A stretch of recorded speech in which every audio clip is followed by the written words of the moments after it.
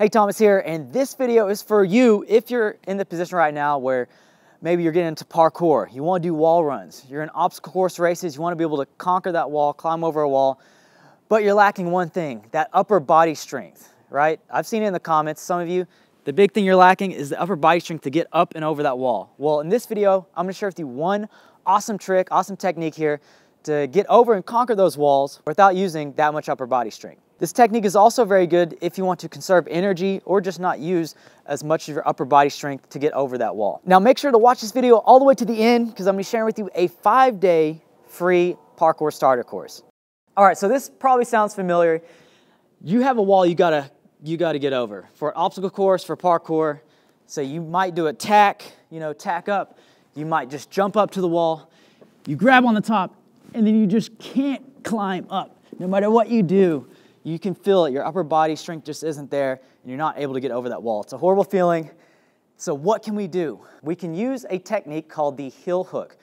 And what this is gonna do is utilize, instead of using your upper body primarily to get up and over the wall, you're gonna use muscle groups that are much stronger, that are also better for endurance. That is your legs. So, when we do the heel hook, we're gonna wrap around the top of the wall or whatever we're trying to climb over with our heel hooking in and using core strength, leg strength, and a little bit of the little bit of the upper body to get up and over, and it's going to be much easier than trying to just muscle it out. This heel hook technique for getting over walls is also very popular in the military. When we ran the Navy SEAL O course, we saw a lot of the military guys were using this heel hook to get up and over walls, and it's a very efficient method for climbing over walls. So let's break down a little bit of the technique here. There are two versions of the heel hook that you can do here depending on what's more comfortable with you. Now, know this, you are gonna have to have some core strength.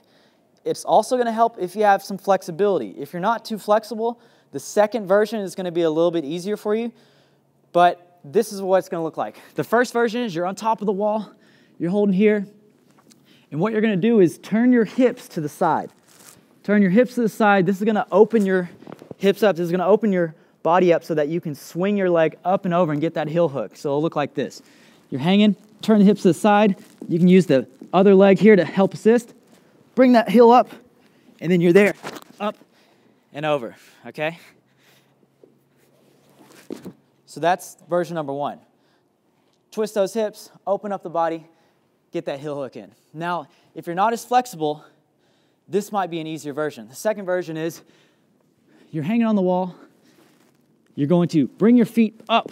You're going to step up the wall, bringing the hips back, and you're going to take a couple steps as high as you comfortably can, and then you're going to swing that, that leg and get that heel hook in. Swing up, get the heel hook, and up and over. Okay? So those are the two versions of the heel hook. This will take a little bit of practice to get that coordination. All right, now I'm gonna cover some key technique points on really getting over that wall after you get that heel hook in. You're going to have that heel up. You're going to pull with your arms and try your best to keep your body close to this wall and get your chest up and over the ledge here. So you can use your elbows. Notice here, I go to my elbows here and I'm up and over my chest. I'm working to get my chest up and over this wall as fast as possible. I'm also really driving this heel and basically doing a curl with my leg here to help assist, and lift. So it's gonna look like this. Curling up, lifting, up and over, and there you go. All right, so use that technique with the heel hook. If you're struggling right now with the upper body strength, you wanna be able to conquer those walls, get over those walls, it's a great technique to use. Now, also have something awesome for you. We have a five-day free parkour starter course. This goes over how to wall run, how to accomplish your parkour roll, your basic landing, your first vault, it goes over a lot of different things to get you started in parkouring and, and master movements like conquering wall runs and things like this and things for obstacle course races. So you can check that out in the link down in the description. Also, make sure to subscribe to the channel for more videos like this. Leave a comment down below. And then also I want to give a shout out to Comatose Worldwide for this hat. I've been rocking this thing all through Colombia, all over the place. And as you see, it's, it's gotten some use. I'm loving this hat. So I'll leave a link down in the description for Comatose as well. Now let's finish off with my favorite part of the video, and that is the comment shoutouts. In the last video, we asked the question, where are you from, and why do you want to increase your strength? Now, these three winners are going to be winning our Rapid Primal Fitness course. First one is Anti Odak from Croatia.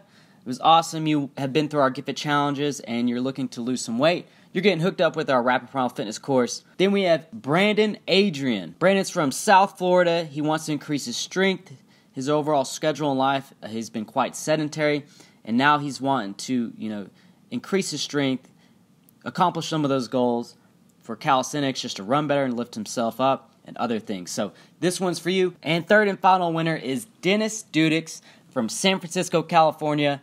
He's been a big fan of the videos for a while, and his one of his big problems is getting push-ups, increasing his strength, and that's what this program's going to do. So you're going to be getting hooked up. Thanks for leaving the comments. Now, in today's video, if you look down the comments, we're going to have another question for you, and we're going to pick three winners on this, and you're going to get our crash course into parkour. So make sure to leave a comment. I'll see you in the next video.